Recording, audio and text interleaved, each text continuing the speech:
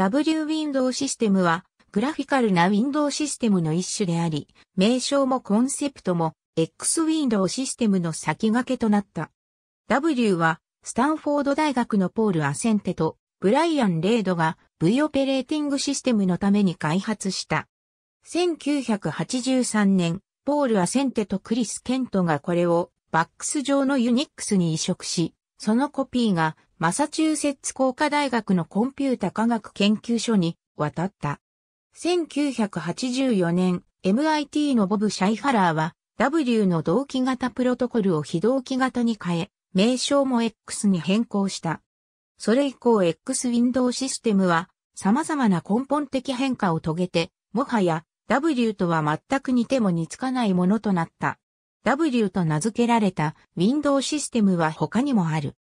1995年、トーソン・シラーは W1R3 と名付けたものをリリースした。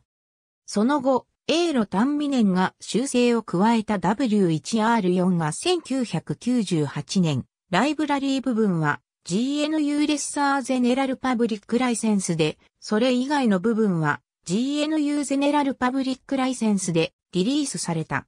こちらは戦術の X や W に比べると大分後発であり、コードも全く異なる。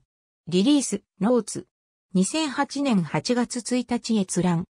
1998ノーツ。This is an official W バージョン1。リリース4 based on my unofficial リリース4ソース。ライブレリーズアレナウアンダー LGPL コピーライト。and the rest under GPL コピーライト TGZ 形式。ありがとうございます。